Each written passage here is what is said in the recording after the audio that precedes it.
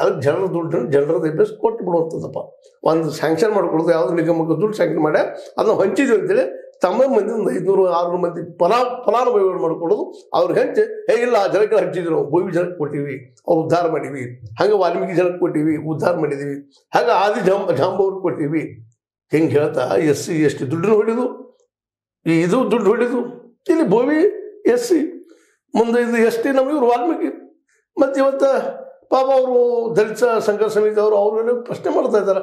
ಅಲ್ರಿ ನಮ್ಮ ದುಡ್ಡು ನೀವು ನಮ್ಮ ಉದ್ಧಾರ ಮಾಡ್ದಂತ ಬಂದು ನಮ್ಮ ದುಡ್ಡು ನೀವು ಹಂಚಾಗಿದ್ದಾರಲ್ಲ ಯಾವತ್ತಂತಾರೆ. ಮತ್ತು ದುಡ್ಡು ಎಳಿತಾರ ಅವ್ರದಾರ ಅವ್ರು. ದುಡ್ಡಿಗೆ ಅವ್ರದಾರ. ಯಾಕಂತಂದ್ರೆ ಸೆಂಟ್ರಲ್ ಗೌರ್ಮೆಂಟನು ಈ ಒಂದು ಮೂರುವರೆ ನಾಲ್ಕು ಲಕ್ಷ ಕೋಟಿ ರೂಪಾಯಿಗಳು ಪ್ರತಿ ವರ್ಷ ಟ್ಯಾಕ್ಸ್ ತೊಗೊಂಡು ಇವ್ರು ಕೊಡೋದು ಎಷ್ಟದು? ಆ್ಯಕ್ಚುಲಿ ಫಾರ್ಟಿ ಪರ್ಸೆಂಟ್ ಕೊಡ್ಬೇಕು ಅವ್ರು. ಫಾರ್ಟಿ ಪರ್ಸೆಂಟ್ ಅದು ಕೊಡೋದಿಲ್ಲ ಅವ್ರು. ಮೂವತ್ತೈದು ನಲ್ವತ್ತು ಐವತ್ತು ಸಾವಿರ ಕೋಟಿ ರೂಪಾಯಿ ಅಷ್ಟೇ ಕೊಡ್ತಾರೆ. ಬರೀ ಗ್ಯಾರಂಟಿಗೆ ಐವತ್ತೊಂಬತ್ತು ಅರವತ್ತು ಸಾವಿರ ಕೋಟಿ ರೂಪಾಯಿ ಬೇಕು ಇವರಿಗೆ. ಅಂದಾಗ ಮತ್ತು ದುಡ್ಡು ಎಲ್ಲಿದೆ ಸ್ವಲ್ಪ ಅವರು? ಇದು ಮತ್ತು ಎಸ್ ಎಸ್ ಟಿ ಗಿಟ್ಟಿ ದುಡ್ಡನ್ನು ಇದಕ್ಕೆ ಹಾಕ್ತಾ ಇದ್ದಾರೆ. ಈಗ ಎಸ್ ಎಸ್ ಟಿಗಳು ಚೀರಿದ್ರು ಮಾಡಿದ್ರೆ ಏನಾಗೋದು ಅಟ್ಲೀಸ್ಟ್ ಇವತ್ತು ನಾವೇನು ಪ್ರಸಂಗ ಬಂದದಪ್ಪ ಅಂದ್ರೆ ನಮ್ಮ ಎಲ್ಲ ಜನರಿಗೂ ಅನುಕೂಲ ಮಾಡ್ಲಿಕ್ಕೆ ಹತ್ತಾರಪ್ಪ ಅಂತ ಹೇಳ್ಬೇಕಾಗ್ತದೆ. ಇದಕ್ಕೆ ಪರಿಹಾರ ಒಂದು ಏನಪ್ಪ ಅಂತಂದ್ರೆ ಪ್ರಾಮಾಣಿಕವಾದಂಥ ಆಡಳಿತ ಕೊಡೋಕೆ ಪ್ರಯತ್ನ ಮಾಡಬೇಕು.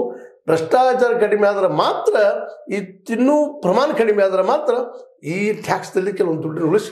ಗ್ಯಾರಂಟಿ ಹಚ್ಚಿ ಮಾಡೋರು ಅದೇ ಸಮಸ್ಯೆ ಬಂದಿರೋದಲ್ವಾ? ಅದ ರೀ. ಯಾರು ಕೊಳ್ಳಿ ಕಟ್ಟೋರು ಗಂಟಿ?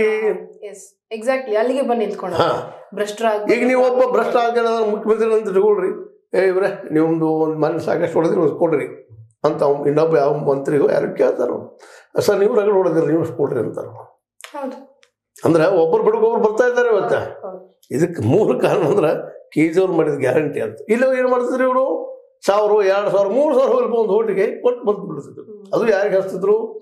ಕೆಳಗೆ ಬಿದ್ದಂಥ ಸಮಾಜ ನಮ್ಮ ಹೋಟ್ ಬೋರಲ್ಲಿ ಹಂಚಿ ಬಿಡ್ತಿದ್ರು ಅದನ್ನು. ಉಳಿದುಕೊಂಡು ಇಟ್ಕೊಂಡು ಬಿಡ್ತಿದ್ರು ಈಗ ಹಂಗಾಗಲಿಲ್ಲ. ಕೆ ಜಿ ಅವರು ಗ್ಯಾರಂಟಿ ಮಾಡಿಬಿಟ್ರು. ಆ ಗ್ಯಾರಂಟಿ ಹೊಡೆತಕ್ಕ ಸ್ವತಃ ದೆಹಲಿಯಲ್ಲೇ ಮೋದಿ ಅವರು ಸೋತು ಹೋಗ್ಬಿಟ್ರು. ಹ್ಮ್. ಮತ್ತು ಕರ್ನಾಟಕದಲ್ಲಿ ಮೋದಿ ಅವರು ಸೋತೋದ್ರು ಗ್ಯಾರಂಟಿ ಸಲುವಾಗಿ. ಇವತ್ತು ಮಹಾರಾಷ್ಟ್ರದಲ್ಲಿ ಗ್ಯಾರಂಟಿ ಮಾಡಿ ಕೊಟ್ಟಿದ್ದಾರೆ. ನಮ್ಮ ಮೋದಿ ಅವರು, ಅವರ ಅಲ್ಲಿ ಶಿಂದೆ ಅವರು.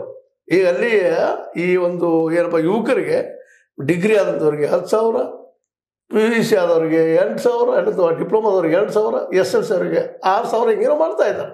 ಅವರು ಗ್ಯಾರಂಟಿಗೆ ಬಂದು ನಿಂತ್ರೆ ಈಗ. ಆದ್ರೆ ಗ್ಯಾರಂಟಿಗೆ ದುಡ್ಡು ಹಿಡಿತಾರೆ ಅವರು.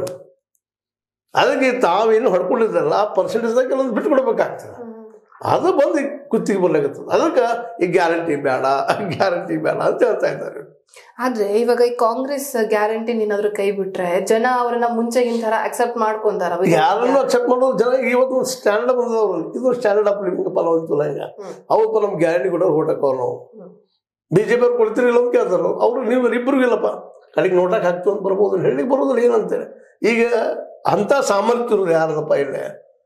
ಇಡೀ ಇಂಡಿಯಾದಲ್ಲ ಈಗ ಒಂದೇ ಒಂದು ಸರ್ಕಾರ ಅದು ಕೇಜ್ರಿವಾಲ್ ಮತ್ತು ಇವತ್ತು ಭಗವಂತ ಮಾನವ ಸರ್ಕಾರ ಮಾತ್ರ ಅವರ ಬಜೆಟ್ ಲಾಸ್ ಎಲ್ಲ ಕೊಡ್ತಾ ಇದ್ದಾರೆ. ಅವ್ರು. ಅಂದ್ರೆ ಅಲ್ಲಿ ಭ್ರಷ್ಟಾಚಾರ ಕಡಿಮೆ ಅದ ಇವರು ಭ್ರಷ್ಟಾಚಾರ ಕಡಿಮೆ ಆದ್ರೆ ಇವ್ರಿಗೂ ಸಾಧ್ಯ ಅದ.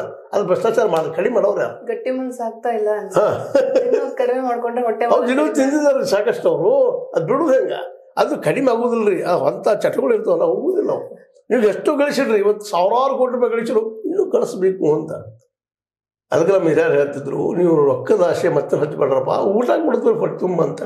ಊಟ ಆದ್ರೆ ಏನಾಗೈತಿ ಮಧ್ಯಾಹ್ನ ಊಟ ಫುಲ್ ಹೊಟ್ಟೆ ಅಂತ ಸಾಕಪ್ಪ ನಮ್ಗೆ ಅಂತೀವಿ. ಆ ಅದು ದುಡ್ಡಿಂದ ಹಂಗಿಲ್ಲ ಬಂಗಾರದ ಹಂಗಿಲ್ಲ ನೀವು ಎಷ್ಟು ಕೊಟ್ಟು ಹೊರಬೇಕಪ್ಪ ನಾವು. ಅದನ್ನ ಒಂದು ನಮ್ಮ ಟಾಲ್ಸ್ಟಾಯ್ ಕಚೇರಿ ಬರ್ತದ. ನೀವು ಅದು ಕೇಳಿರ್ಬೋದು. ನೀನು ಎಲ್ಲಿವರೆಗೆ ನಿಂತ ಅಲ್ಲಿ ಹೋಗಿ ಓಡಿ ಹೊಳ್ಳಿ ಬಾಪ ಸೂರ್ಯಾಸ್ತದೊಳಗೆ ಆ ಭೂಮಿ ನಿಂದ ಅಂದಾಗ ಪಾಪ ಓಡಿ ಓಡ್ತಾನೆ ಓಡಿ ಓಡಿ ಹೊಳ್ಳಿ ಬರೋದು ಕಲ್ಪನೆ ಬರೋದಿಲ್ಲ. ನಾಲ್ಕು ಆಗ್ತದೆ ಐದು ಆಗ್ತದೆ ಇನ್ನು ಸೂರ್ಯ ಮುಳುಗ್ ಹೊತ್ತು ಬರೋದು ಹೊಳ್ಳಿ ಓಡ್ಬೇಕಂತ.